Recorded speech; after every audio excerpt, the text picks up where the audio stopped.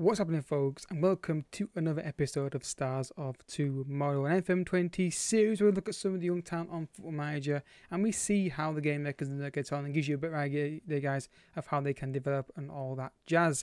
So today is the penultimate episode. There's only one more episode after this. Don't forget to drop a like on the video and subscribe if you are new, and check out the second channel, second channel which Twitch channel, second channel, Twitch channel down below, and my night podcast as well, and Twitch channel, which is live on Fridays, Saturdays, and Tuesdays, work and football permitting, as I always like to say.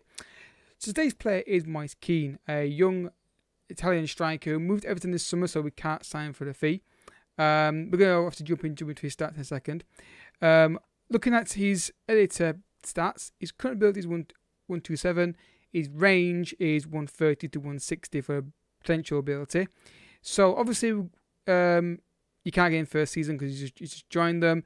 Was a popular player for a while on Football Manager when he was very young at Juventus. Everyone seemed to sign this guy. Let's dive in, look at the stats and reports, and see how the how they reckon he should how they reckon he is at the moment.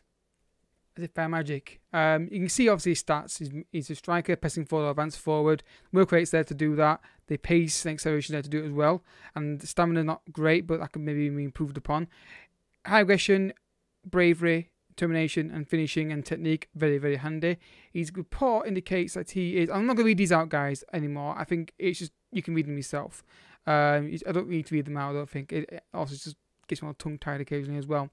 Um, two and a half star current ability, four star, maybe to five star current ability, uh, potential ability.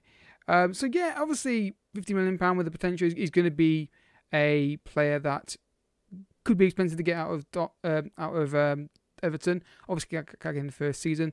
His player traits: his left foot is his weakest foot, but he's reasonable on his left foot, very strong on his right foot. He likes to shoot with power, cuts inside from both wings, likes the ball playing defeat, and runs the ball often. So yeah, I think this guy could be retrained um, as a winger, um, potentially um, because of the dribbling and the pace. Definitely could be worked upon.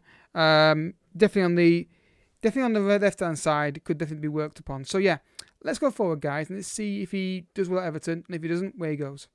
Right, folks, he's still at Everton. As you can see here, still very good stats um, on him. Um, just not getting massive amount of football. Um, but this is the actually the first run through of him both other attempts were similar in terms of lack of football, um, which is disappointing. Uh, just I think I think it's just one of those things that happens um, in these reviews, unfortunately. But still, not a bad player, is he? Finishing, dribbling, the, the strength, uh, not strength, strength's not bad. Sorry, yeah, pace, fitness, and agility, acceleration. Still a really good player. Uh, looking at the player traits on here, you can see relatively the same again. Um, in injuries, one big injury for three months for broken ankle. How did he get on at the various clubs? So first year Everton didn't play that much. Um, again didn't play that much. I don't know why I didn't play him. Really don't know. This happened a couple of times as well. Southampton loaned him, didn't play him. The one time he did play in the Premier League for Norwich, he got six goals um, in 12, well, in 14, yeah, 14 minutes in the league, four goals, six goals in total in the season. Yeah, just weird one again. Just we this seems to happen quite a lot. I don't know if it's just a thing that we're unlucky with the players we pick, but his range is 130 to 160, so there's not much increase in potential ability range.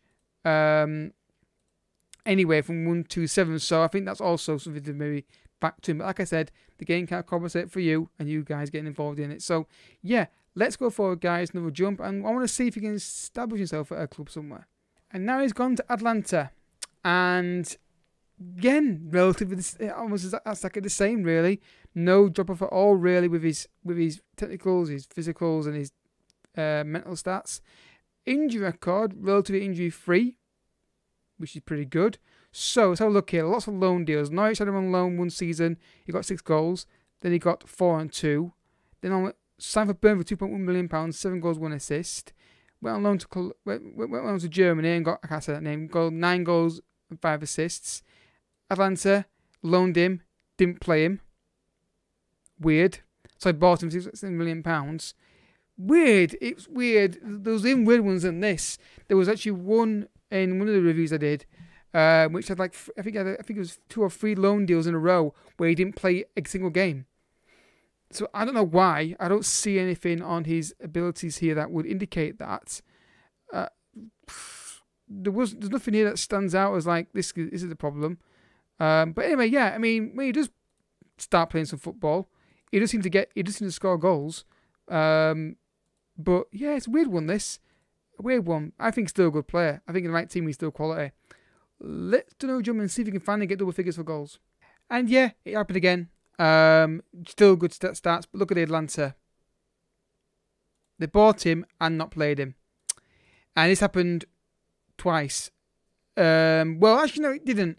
It once it happened, but the stats relatively stayed the same, but it was various different levels of play time. So it's a weird one. Uh, I don't know why um, they didn't play him, but this is the best he got um, in terms of actual stats. But obviously, maybe just I don't know, idiots didn't want to play him. Injury record again, not really injury prone in my opinion.